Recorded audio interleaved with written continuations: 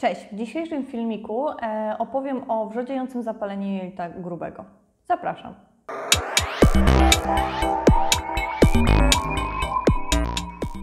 Ponieważ e, pisaliśmy posta i e, z pytaniem, jakie tematy Was interesują, i jednym z zagadnień, które chcielibyście, żebyśmy rozwinęli, jest wrzodziejące zapalenie jelita grubego. Dlatego dzisiaj przygotowałam kilka informacji. Pamiętajcie tylko na wstępie, że jest to jednostka chorobowa, która jako dietetycy my możemy tylko ją wspierać, natomiast należałoby współpracować ściśle z gastroenterologiem. To tutaj lekarz e, powinien stawiać odpowiednią diagnozę, kierować w jaki sposób te badania wykonać, które byłyby najsłuszniejsze e, i dopiero wtedy on stawia diagnozę. Również wiele osób, które mają bardzo silne objawy ze strony układu pokarmowego, ze strony jelit, e, są hospitalizowane i wtedy tam jest postawiona diagnoza.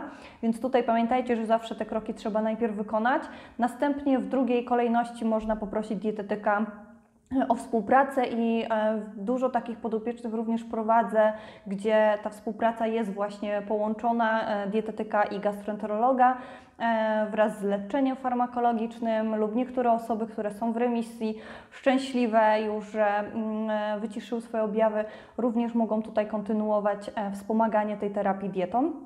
Ja dzisiaj w tym filmiku opowiem Wam tylko o takich najważniejszych aspektach, e, czyli przede wszystkim o tym, co to jest to wrzodziejące zapalenie jelita grubego.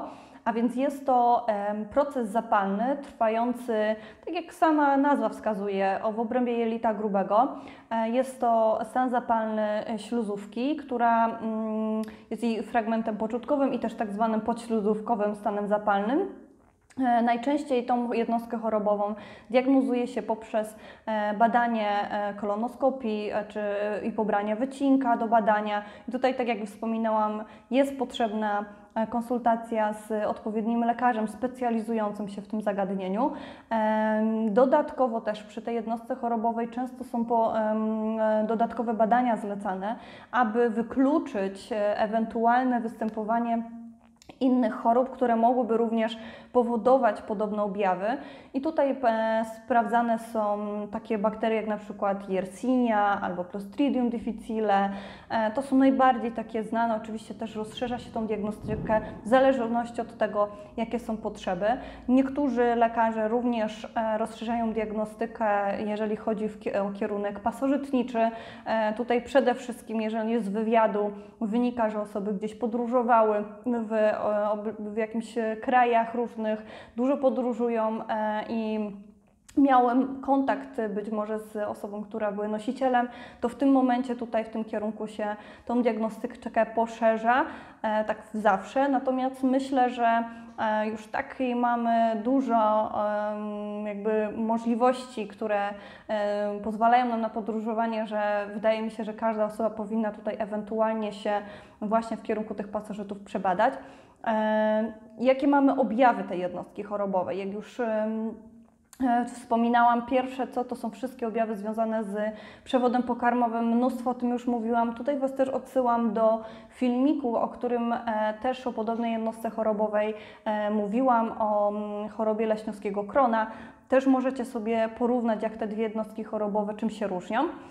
Jeżeli chodzi o takie najczęstsze objawy w wrzodziejącym zapaleniu jelita grubego, E, to problemy związane z bólem brzucha, najczęściej z takim kłuciem w lewym boku. E, to tak jest bardzo specyficzne do tej jednostki chorobowej, ale również występują biegunki e, lub w ogóle problemy z wypróżnianiem.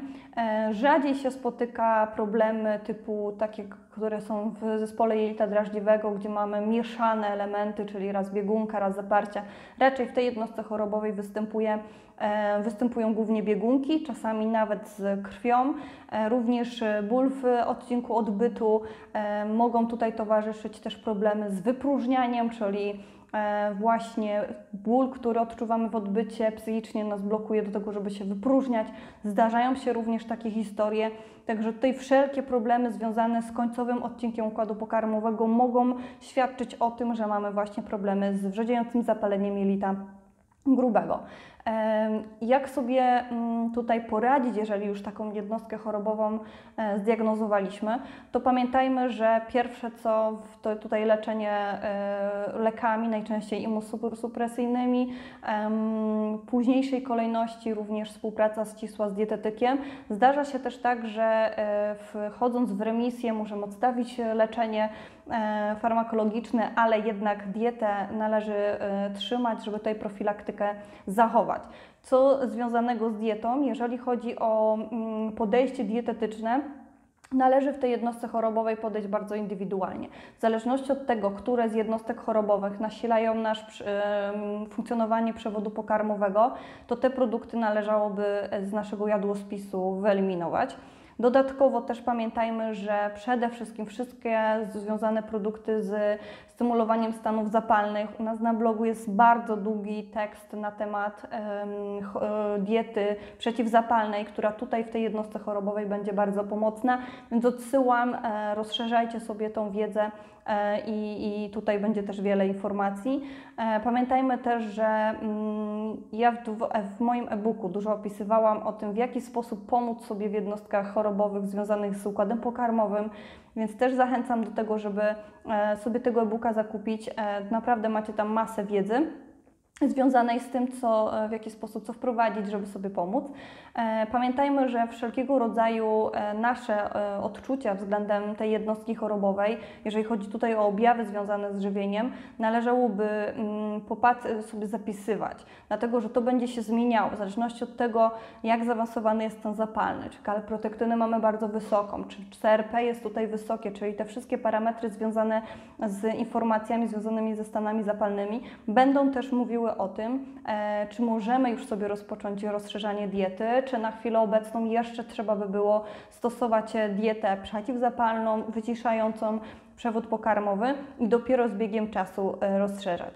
Tutaj, w, jeżeli chodzi o wrzodziejące zapalenie jelita grubego, bardzo duże znaczenie ma też błonnik, ponieważ przez to, że objawem tej jednostki chorobowej są biegunki. Nie chcemy nadmiernie stymulować jeszcze tutaj perystaltyki jelit, dlatego ta mm, ilość e, błonnika powinna być e, tutaj dostosowana. Często ona jest również w mniejszej ilości, żeby nie e, nadmiernie tutaj nie stymulować tych jelit, więc na to też trzeba zwracać uwagę. Często się wyklucza produkty zbożowe bądź zmniejsza ich ilość. I tutaj patrząc na to, jaka dieta jest najczęściej polecana, mm, czyli dieta lekkostrawna, no niestety, ale nie do końca ona się tutaj może sprawdzić.